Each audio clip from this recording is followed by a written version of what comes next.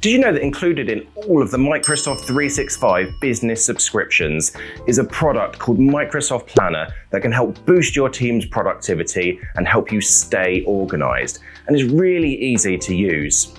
Welcome back to Microsoft 365 in 5 my name is Matt and I run a company called Labyrinth Technology. We help empower businesses with their Microsoft 365, IT and cybersecurity. You can find a link to my LinkedIn profile in the video description. So Microsoft Planner is a really simple solution for managing your tasks as an individual or as a team. You can even use it as a simple way of managing projects. It's supported on multiple platforms including mobile, computer, you can use it in the web browser, and you can also integrate it with Microsoft Teams. Let's take a look. So the first thing you need to do is go to Microsoft365.com and click in the top left on the app launcher button, which is the little grid of nine dots. So here you'll see a list of Microsoft 365 apps that you have access to. If you don't see Microsoft Planner there or something else that you're looking for, all you need to do is click on more apps or where it says find more apps at the top there, just type it in and search for the product that you're looking for. And I can almost guarantee there's at least a few Microsoft 365 products here that you didn't know you had access to, or perhaps you've never heard of. And that's what this video series is all about. So let's click on Microsoft Planner. The first thing you'll see is My Plans. Um, you've also got My Day and My Tasks. So My Day is where you can set any tasks that you'd like to work on for today.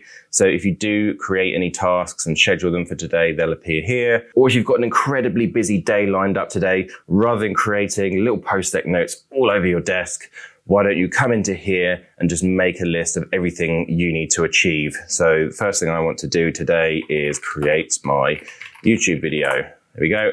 And when I've completed it, I can just tick it off. So that's what my day is all about. Um, I can look at that in grid view or I can look at that in board view. If you click on my tasks, now this will pull all of the tasks that you've got assigned to you across Microsoft 365, including any that you might have created in Outlook, um, in Microsoft Teams or across different planner boards. So you can see at the top here, the due dates, the progress, the name of the task, and what plan it came from, which Microsoft Planner board. And you can again look at that in grid view or look at that in board view and that will sort them out into not started, in progress and completed. So it's nice and easy for you to see all of your tasks in one place without having to click into multiple different planner boards. We then have my plans and that will be all of the Microsoft planner boards that you are part of. So what is a Microsoft planner board?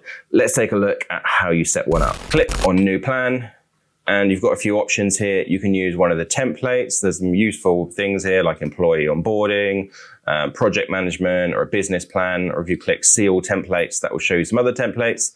Um, but I will start with a basic grid. Um, and you can add it to a group. So if you've got an existing Microsoft 365 group, um, which is how Microsoft Teams and SharePoint sites are generally built and access is managed to those, then you can nicely integrate the access to this planner board with one of those groups. So I'd really encourage you to do that to keep things simple. But if it doesn't really fit in with one of those groups, then you can create a new group um, or you don't have to use a group at all. So let's give the plan a name. Um, let's call this um, my YouTube video, YouTube MS Planner video. Um, and if you want to, you can add that to your pinned plans by ticking that. Um, and let's click create. Okay, so I'm going to change this now to board, um, which gives you these kind of different buckets or columns for your tasks. There's no right or wrong way of doing this. Um, it depends how you want to organize your project. You could do uh, not started, in progress, or perhaps you're creating a massive project um, there's different stages to that project or there's different teams in that project. However you want to do it, you can create these buckets, which are effectively different columns for grouping those tasks together. So I'm going to think about the different stages of my YouTube video. So we have got production, post-production, and uh, maybe creating my thumbnail. And to create a task, you just click add task enter the name of the task. So record the video. Um, you don't have to overcomplicate this. And then you click on the task and you can assign it to somebody. So I'm going to assign this to myself. Um, you can also add other people if you want to assign mul multiple people to the task. You can add a label um, and you can edit these. Um, so we've got different colored labels here. Um, and if you want to have different tags, so maybe this is a, the red one could be high priority action. There we go.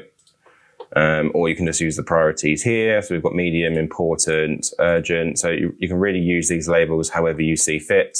And then we've got um, the progress. So is this in progress? Yes, it is. The start date, due date, and a repeat. So if this is a, like a weekly project meeting, you could set that to repeat every week.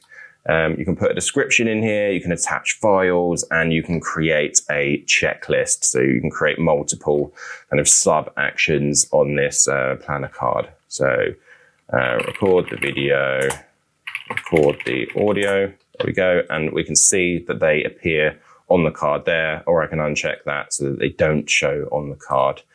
Once we've got these here, I can drag and drop them between the different columns nice and easily, or once I'm finished, I can just tick it off um, and that's now disappeared and it shows incompleted tasks. We've then got schedule at the top here so I can see any um, tasks that are scheduled for specific dates.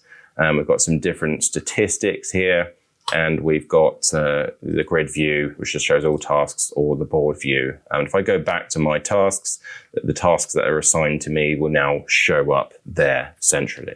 So as you can see, that's really easy to use and really easy to get set up. But how do you integrate it with Microsoft Teams? Let's take a look. So in Microsoft Teams, if you click on the team that you would like to add the planner to, and you can click plus at the top here where it says add a new tab, and search for Microsoft Planner. So you're either going to see it at the top there, or you can just search for Microsoft Planner where it says search for apps. And once I do that, we've got the option to post to the channel about this tab. So that will post a little message, let everybody know that you've created the tab. There we go. So I can choose an existing plan or I can create a new plan. So I could use the plan that I've already just created, or I can click create a new plan. And let's click new plan here. And that's going to automatically assign it to this team. So everybody in this Microsoft team will get access. My project. There we go. And that's now appeared at the top there. And if it's easier, you can just rename that so it's clear this is the planner tab. So you can click the drop down there, click rename, click planner. But all of the functionality I've just showed you that's in the web interface, such as the, the different views and creating different buckets and tasks and ticking them off, that functionality is pretty much the same in the Microsoft Teams app. So give it a go, it's super simple. Thank you for watching our Microsoft 365 in 5 video. I hope I answered your question. Please subscribe so you don't miss the next video in the series. And if you found this useful, please give the video a thumbs up or drop us a comment with your feedback.